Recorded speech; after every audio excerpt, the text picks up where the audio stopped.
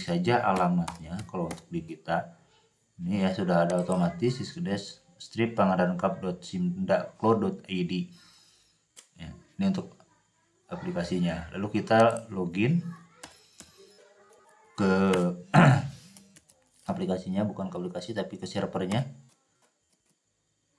Login dulu ke servernya baru kita bisa untuk mengakses aplikasinya ya untuk sementara fiturnya uh, untuk sementara aplikasi ini untuk sementara aplikasi ini hanya baru bersama Agim Channel gitu Tetap bersama Agim Channel. Jangan lupa like dan subscribe.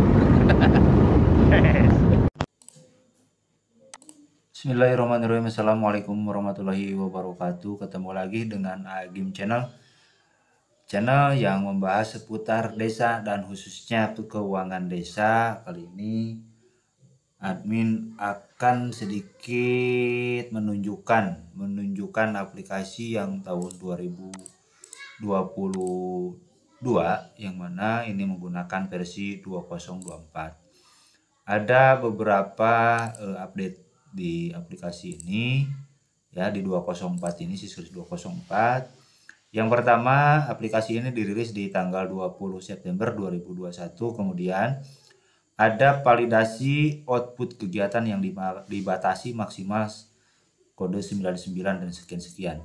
Kemudian ada judul entry saldo awal, nama desa bila sudah dipilih.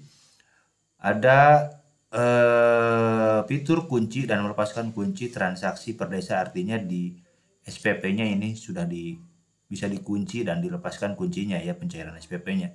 Jadi setelah dicairkan SPP-nya ini tidak bisa diulangi kembali kalau memang admin di kabupaten ya ataupun di kecamatan yang berkehendak untuk menguncinya. Kemudian kode sumber dana ini sudah dikunci secara default ataupun secara standar. Kemudian yang eh, update fitur laporan output capaian dana desa ini sudah disesuaikan dengan PMK 20 Eh, PMK 222 tahun 2020. Seperti apa aplikasinya? kita langsung saja buka dan kebetulan untuk di kabupaten kita ini menggunakan sistem cloud ya. Jadi ini tidak menggunakan versi desktop yang seperti ini. Jadi sudah menggunakan yang versi uh, desktop. Kita ketik saja alamatnya kalau untuk di kita. Ini ya sudah ada otomatis siskedes strip ya, ini untuk aplikasinya. Lalu kita login ke aplikasinya bukan ke aplikasi tapi ke servernya. Login dulu ke servernya baru kita bisa untuk mengakses aplikasinya ya. Untuk sementara fiturnya eh, untuk sementara aplikasi ini untuk sementara aplikasi ini hanya baru bisa yang 2022 ini baru bisa dibuka oleh admin ya. Ini baru bisa dibuka oleh admin dan karena kebetulan juga memang eh, ini masih dalam tahap eh, pengaturan ataupun setting eh, aplikasi ini ya kan setting seperti parameter kemudian juga ya parameter dari mulai pendapatan belanja maupun eh, pembiayaan kalau memang ada penambahan. Disesuaikan dengan peraturan kepala desanya peraturan kepala daerahnya masing-masing ataupun perbuk pengolahan keuangan desa. Seperti biasa eh, seperti yang lainnya sebetulnya ini masih versi desktop kan? Cuman ini dia eh, diamnya ataupun tempatnya dia ada di, di server ya. Ini kita langsung login saja. Ya. Menggunakan user admin ya.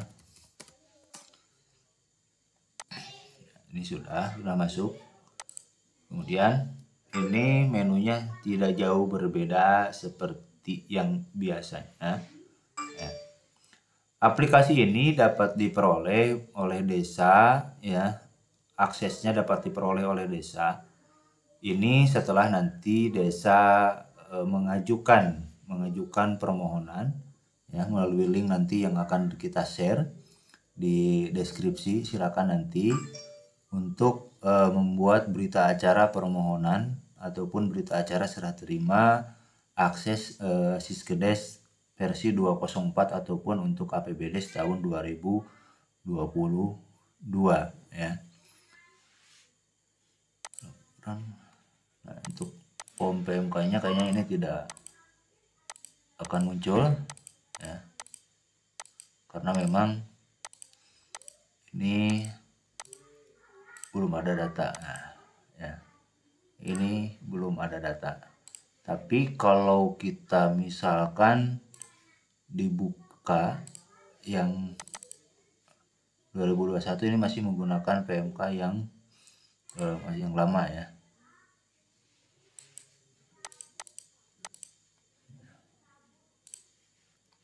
Ini sudah menggunakan format nanti datanya saya isi dulu ya. Untuk yang PMK 202 tahun 2020. Nah, ini untuk rekan-rekan di desa di wilayah Kabupaten Pangandaran silakan nanti untuk mengajukan eh, apa? permohonan akses Siskedes 204 ataupun untuk pengisian APBD tahun 2022 silakan nanti ada di form deskripsi ya untuk link pengajuan uh, formulirnya. Itu saja mungkin yang disampaikan. Terima kasih atas perhatiannya dan mohon maaf apabila dalam penyampaian kurang pas ataupun kurang mengena kepada sasarannya. Ya ini hanya sekedar menyampaikan saja ya, menyampaikan untuk versi 204 ini tidak ada perbedaan yang signifikan. Hanya ada pengujian SPP saja. SPP dan ada perubahan format PMK 202 222 tahun 2020 disesuaikan dengan capaian output yang memunculkan anggaran COVID dan BLT itu saja.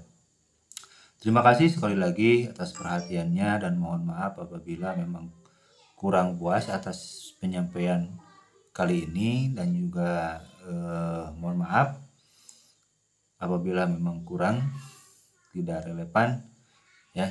Karena saya bukan youtuber tapi sekedar hanya ber YouTube untuk menyimpan file saja daripada disimpan di laptop nanti filenya menjadi hilang. Sekali lagi terima kasih. Assalamualaikum warahmatullahi wabarakatuh